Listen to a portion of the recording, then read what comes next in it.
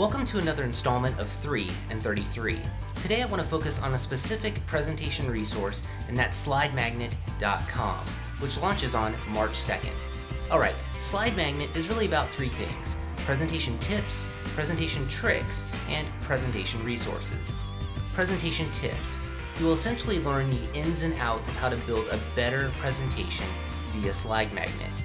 Presentation tricks. There'll be plenty of how-to guides to choose from to empower you, the presenter. And then presentation resources. Lots and lots of articles to choose from. I hope these tips help you with your next presentation.